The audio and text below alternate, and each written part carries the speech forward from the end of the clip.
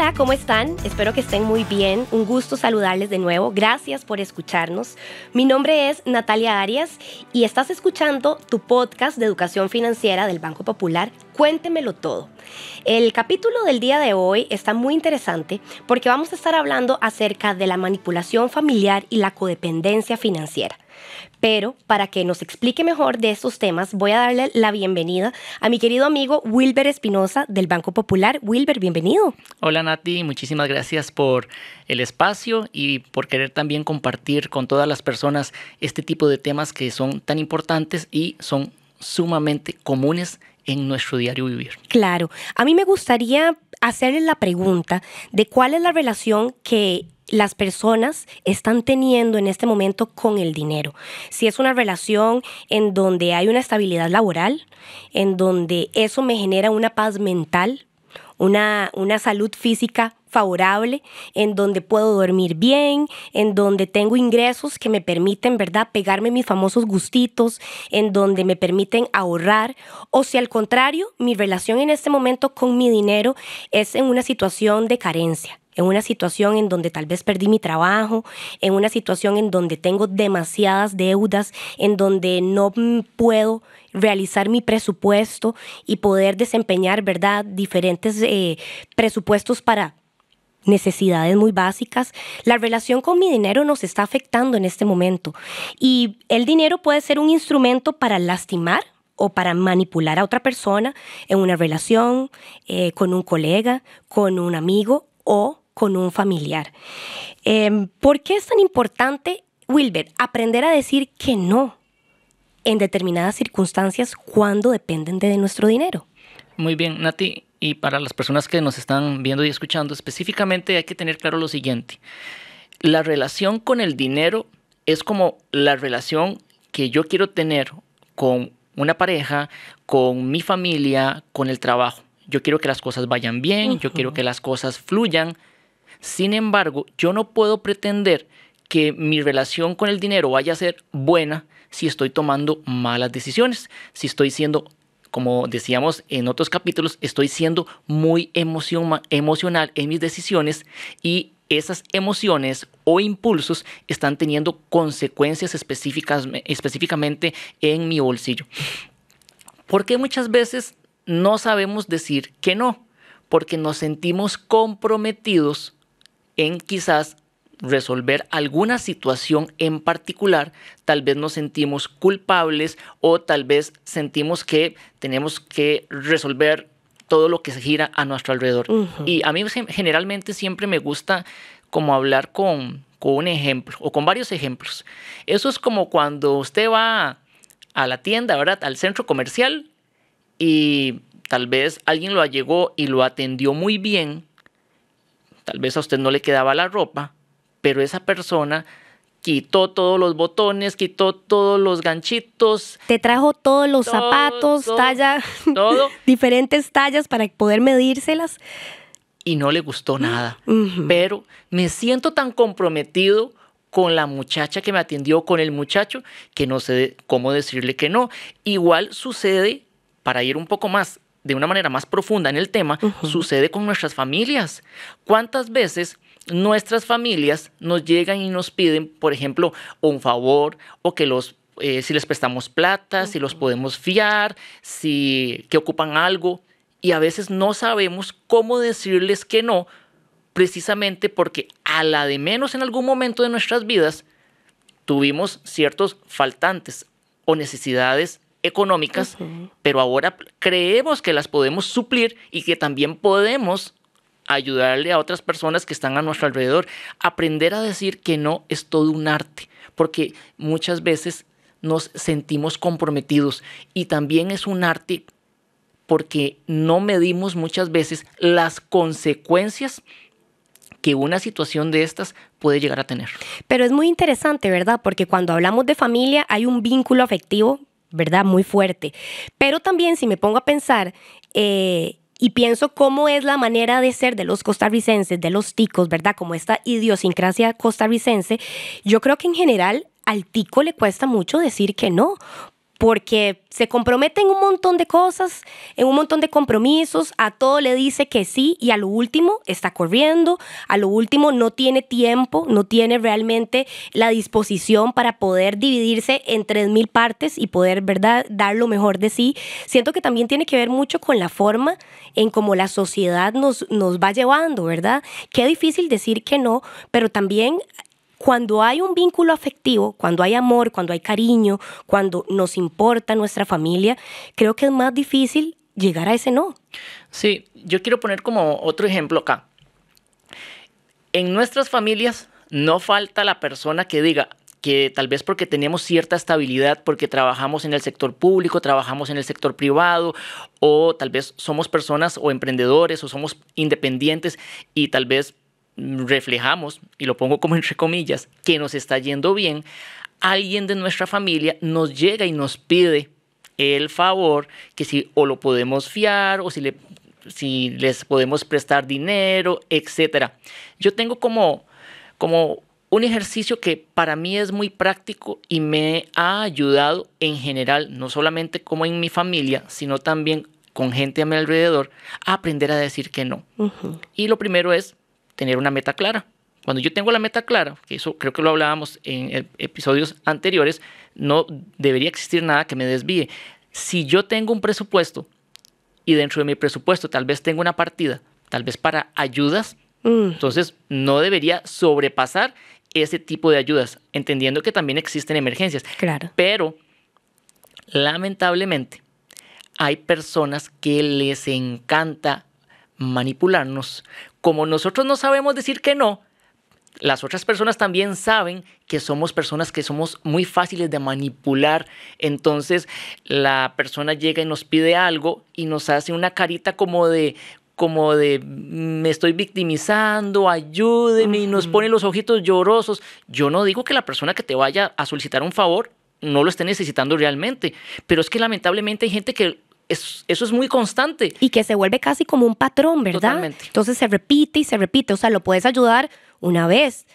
Tal vez no está pasando por una situación económica eh, estable o perdió su trabajo o, o, está, ¿verdad?, en ciertos problemas económicos y uno brinda una ayuda. Pero cuando ya se empieza a convertir como en un patrón, ya que hay una dinámica en donde nos tira una alarma, en donde podemos darnos cuenta que nos están manipulando. Sí, hay gente que es especialista en eso es especialista en manipularnos y nosotros lo permitimos. ¿Y por qué lo permitimos? Porque les voy a poner otro ejemplo. Hace poquito conversaba con, una señora y la señora me decía, vea Wilber, es que en este momento yo gracias a Dios tengo mi buen salario, tengo mis ahorros. Hace poquito llegaron unos vecinos en el residencial y me dijeron, voy a cambiarle el nombre, eh, Lucía, doña Lucía, es que viera que en este momento estamos necesitando eh, que alguien sea nuestro fiador y como usted trabaja en una institución pública, necesitamos que nos ayude para que usted sea fiador de nosotros por 8 millones de colones. Y es que son unas tarjetas de crédito. Entonces yo me pongo a pensar, ¿cómo una persona, y no es el caso más extremo que yo he visto, he visto que personas han llegado a adeudar hasta 50 millones de colones en tarjetas de crédito y tal vez no tienen nada que eh, que responder o que respaldar.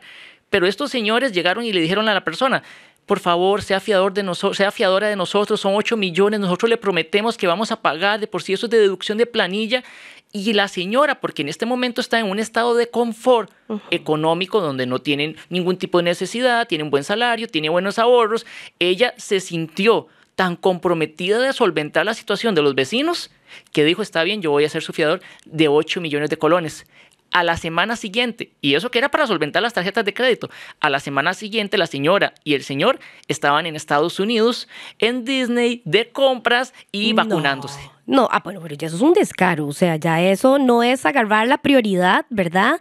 Y salir de, de ese problema, sino que prácticamente es como seguir alcahueteándonos, entre comillas, ¿verdad? En una palabra que utilizamos mucho, y no lo pone como, como una urgencia, sino que más bien es ese patrón que se sigue repitiendo. Eh, si estamos en una postura económica en donde yo puedo y vos no, y por eso te doy, o si al contrario, yo no puedo y vos sí, y por eso estás obligado a darme. Hay una diferencia en el querer, ¿verdad? Porque a mí me nace querer ayudarte, colaborar, o si ya más bien es una cuestión de tenés que.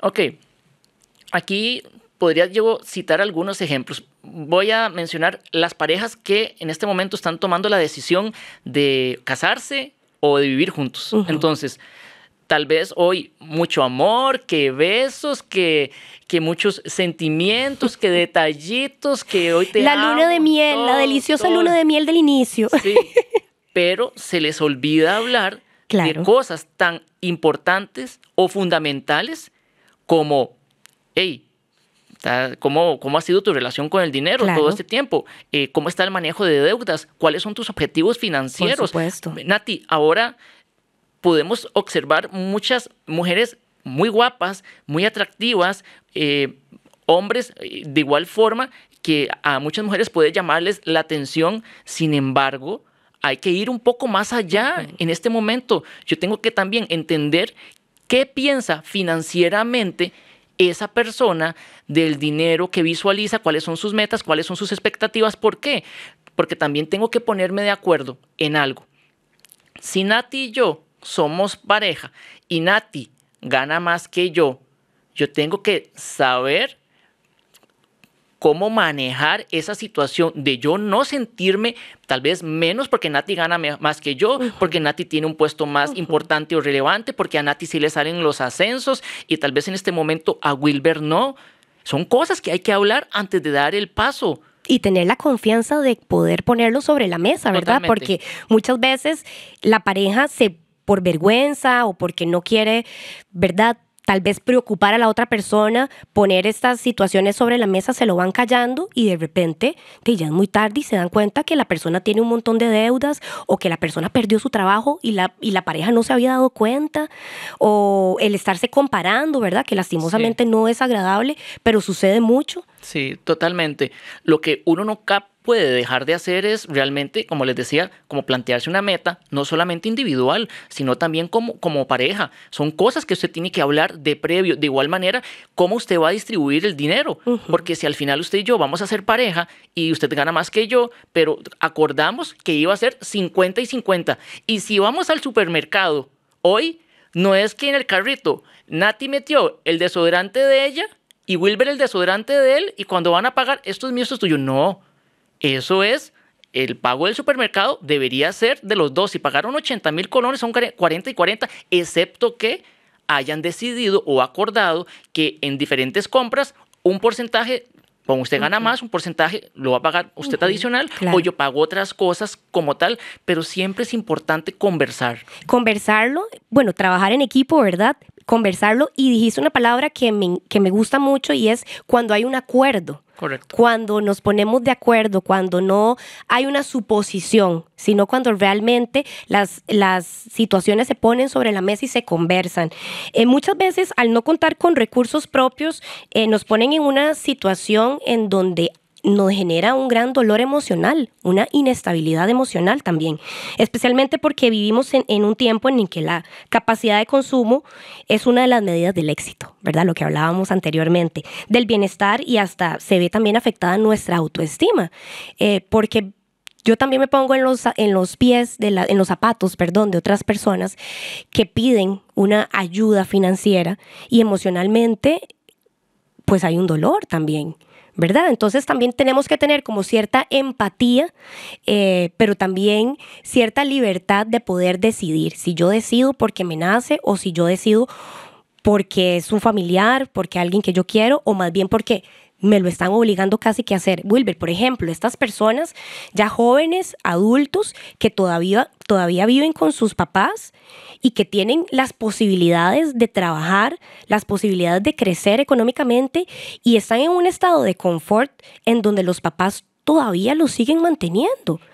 Y uno dice, bueno, debería ser casi como al revés, ¿verdad? Poder chinear a los papás, poder consentirlos, los papás les han dado el estudio, todas las posibilidades, y de repente ves personas que ya están grandes, que tienen miles de posibilidades y están en una zona completamente de confort y los papás siguen siguen ahí. Entonces uno se pregunta, bueno, ¿quién tiene la culpa? Ok, yo creo que es una responsabilidad compartida. Primero, ese estado de confort podría estar en los dos lados o hacia los dos lados. En primera instancia, yo quiero que asociemos varios conceptos aquí que son fundamentales. Ya hablamos un poco del, tema de la manipulación. Pero también a veces las personas tenemos cierta dependencia. Y yo quisiera que quienes nos están escuchando en este momento también tengamos claro que no es correcto estar dependiendo siempre de una persona. ¿Por qué? Porque pueden pasar un montón de situaciones. Deberíamos estarnos proponiendo temas o metas financieras que nos saquen específicamente de ese estado de confort. El tema de la manipulación como tal, definitivamente a veces o nuestros hijos o gente en nuestro entorno nos puede llegar a manipular. Pero hay otro tema relacionado a todos estos que para mí es uno de los que está afectando principalmente a las familias y se llama la codependencia financiera.